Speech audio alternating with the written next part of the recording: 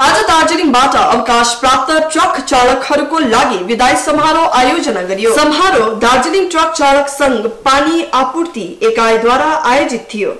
आयोजकहरूले अजमबाडी समुदाय हल रङ्गोल दार्जिलिङमा कार्यक्रम आयोजना गरेका थिए। दार्जिलिङमा ट्रक चालक पानी आपूर्ति एकाइ र आरजेटी सँगै अवकाश र सम्मान कार्यक्रम सम्पन्न गरेको थियो। तपाईँको शुभ नाम? मेरो नाम सुशील तामाङ वाटर ट्याङ्क युनिटको अ, यो प्रोग्रामको बारेमा केही जानकारी दिनुहोस् न। यो हाम्रो सालुनी हाम्रो दार्जिलिङ ट्रक ड्राइभर एसोसिएसनले हामीलाई। सालुनी हाम्रो यो रिटायरमेन्टको तपाईँको।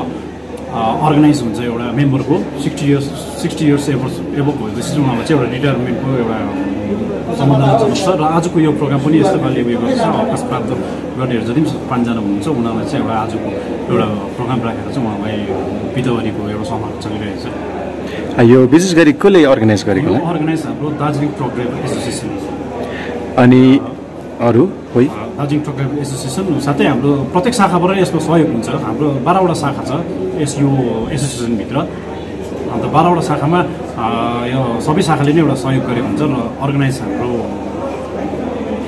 दार्जिलिङ ट्रक ड्राइभर एसोसिएसनले नै हामीलाई सेन्ट्रल कमिटीबाट नै उनीहरूले हामीलाई जिम्मा दिएको हुन्छ र यसमा चाहिँ हामीले आरजिटी आरजिटी आरजिटी र वाटर ट्याङ्क युनिट दुईजना मिलेर चाहिँ अहिले हामीले सहयोगको मार्फत हामीले भूमिका निभाउँछौँ।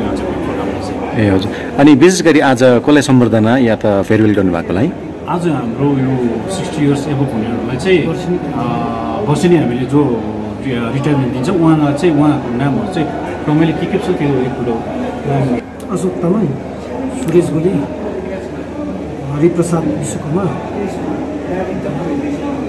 जगत गुरुङ उदय गोली यिनीहरू यिनीहरू चाहिँ अब तपाईँको अशोक तामाङ तपाईँको आरजिटीको मेम्बर हुनुहुन्छ उहाँ र यो सुरेश गोले आरजिटीको मेम्बर हुनुहुन्छ र हरिप्रसाद विश्वकर्मा उहाँ तिनदारे तिनदारे घैबारीको मेम्बर साथै हाम्रो जगत गुरुङ श्री जगत गुरुङ हाम्रो वाटर ट्याङ्क युनिटबाट हुनुहुन्छ उहाँ र उदय गोले श्री उदय गोले हाम्रो दार्जिलिङ युनिट हो दार्जिलिङ शाखा युनिटबाट यसरी नै हाम्रो बाह्रवटा युनिटबाट चाहिँ अब को को छानिन्छ अब हर साल चाहिँ हामीले नोमिनेट गरेर पाँचजनालाई हामी निकालेर एउटा सेन्ट्रलबाट सेन्ट्रल कमिटीबाट नै उहाँलाई एउटा रिटायर दिने एउटा प्रबन्ध अहिले चलिरहेको छ।